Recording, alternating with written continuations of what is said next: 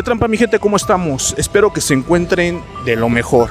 El día de hoy nos dirigimos hacia la glorieta de insurgentes, ya que últimamente he visto en varias noticias que esta zona se está convirtiendo en un lugar de inmundicia e inseguridad. La glorieta de insurgentes se ha convertido en un lugar inseguro. Ángel y Dalia transitan por ahí con frecuencia. Saben que deben extremar precauciones. La glorieta de insurgentes está convertida en un nodo de inseguridad e inmundicia. Pues la zona es muy insegura. Así que el día de hoy lo comprobaremos. Vámonos, Recio.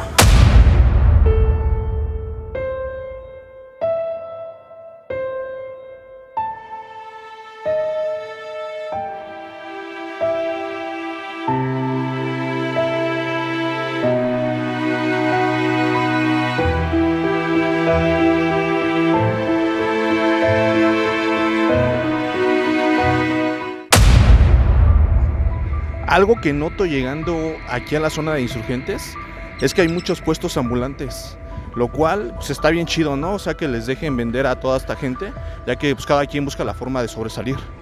Y veo puestos de todo, de chácharas, relojes, cadenas, gorras. Pues eso está chingón. Y platicando con algunas vendedoras, nos comentan que son parte de una colectiva feminista, las cuales se encuentran en una situación difícil y por esa razón a muchas de ellas les permiten vender en esta zona. La Glorieta de Insurgentes fue inaugurada en el año de 1969 como parte de las obras de la línea 1 del metro y fue la primera en su tipo en la CDMX. De hecho, esta glorieta fue uno de los puntos más recurrentes de la Ciudad de México, tanto por su ubicación como su funcionalidad.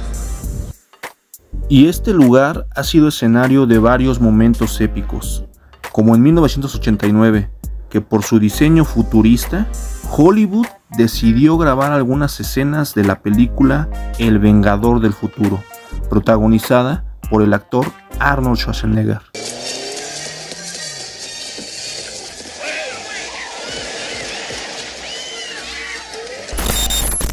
También la banda mexicana de rock Zoe eligió este sitio para dar un concierto sorpresa de su álbum llamado Aztlán. Y cómo no olvidar que este también fue un punto de encuentro para la batalla campal entre emos y punquetos. En contra de los emos. Somos entre ponquetos, darquetos, emos. ¿Y, ¿Y por qué están atacando? Porque están copiando nuestros estilos. De pronto, como si fuera una broma o una película surrealista, se escucharon cantos y música que salían del metro insurgentes. Era un grupo de Hare Krishna y aunque no lo crea, ellos dispersaron la atención. Y pues miren gente, ahorita son las aproximadamente las 2 de la tarde y pues yo la verdad siento, siento muy tranquila la zona. Claro, no, no tiene nada que ver que por ejemplo en la noche tal vez ya eh, que no hay mucha luz, que no hay mucha gente, tal vez a esas horas ya es cuando se puede poner muy inseguro esto. Por lo que sea, todo el tiempo recuerden tomar sus precauciones. Por ejemplo, no se distraigan, recuerden siempre estar al pendiente de sus objetos de valor. Ya saben, al tiro siempre. Pero ¿cuál es la percepción de la gente en cuanto a seguridad en esta zona? Decidimos preguntarle a algunas personas y estas fueron sus respuestas. ¿Cuál es tu nombre, amigo? Fernando. Eh, actualmente, ¿cómo consideras la seguridad aquí en la Glorieta de Insurgentes? Pues se me hace un área segura. Digo, hay mucha vigilancia. Ves a los alrededores, ahí está la policía, hay seguridad pública, entonces se me hace un área segura. Ok, amiga, ¿me puede decir actualmente cómo considera la seguridad aquí en la Glorieta de Insurgentes? Eh, la seguridad se, yo la veo muy bien. Hay policía, seguridad distribuida aquí en la glorieta, entonces yo creo que por ese lado no tenemos queja. Perfecto. Y respecto a la limpieza aquí en la glorieta. Ah, Con respecto a la limpieza, pues está pésimo el lugar, sí hace falta para empezar algún bote de basura en lugares estratégicos, eh, personal de limpieza ocupándose de la misma, tal vez algún letrero donde diga deposita, exhortar a la población para tener nuestra glorieta limpia y podamos disfrutarlo, porque así definitivamente no se puede disfrutar. Hasta este punto del video llegué a pensar que lo que se decía en las noticias era una exageración, pero después de lo que viene, ya no tanto. Pues ya adentrándonos aquí en la glorieta de insurgentes, donde era la entrada del metro, donde también está la entrada hacia el metrobús. De hecho, aquí a mis espaldas hay mucha gente en situación de calle y la verdad se ve muy sucio. De hecho, también se, se siente, bueno, se percibe el aroma a orines. Y sí, la verdad sí es fuerte. Decidí entrar bajo de este puente con cámara escondida y pude notar que hay gente intoxicada o bajo los efectos de alguna sustancia. Aparte de que aquí sí hay más suciedad y este pasadizo es más inseguro, pues al momento que decidí subir la cámara para obtener mejores tomas, esto fue lo que pasó.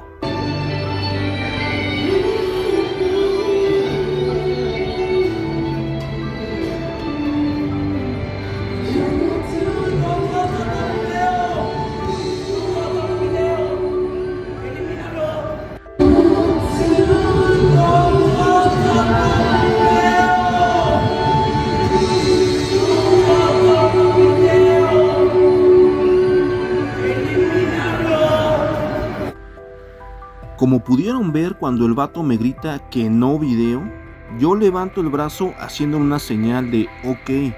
Y es cuando detengo el video, pues este vato me empezó a insultar y gritó que me detuvieran. Y de la nada me salió un güey por enfrente, otro por el lado derecho. Y lo que hice fue salir por el lado izquierdo, sin hacerles caso, pues al final de cuentas me estaba grabando a mí mismo, ni siquiera estaba enfocando a ellos pero decidí salir de ahí para evitar problemas, pues muchas veces ese tipo de gente altera su realidad y no entienden de razones. Así que mucho cuidado al cruzar este pasadizo.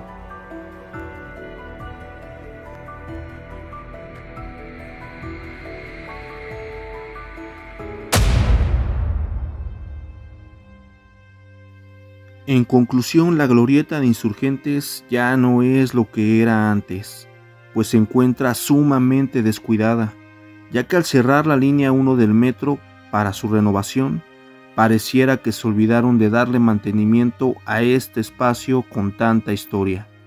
Es triste ver que en este lugar sí exista inseguridad e inmundicia. Aunque en esta parte de la glorieta sí hay algunos policías y de día la zona se siente tranquila, en las zonas donde no pega el sol, lo mejor es tomar todas las precauciones necesarias.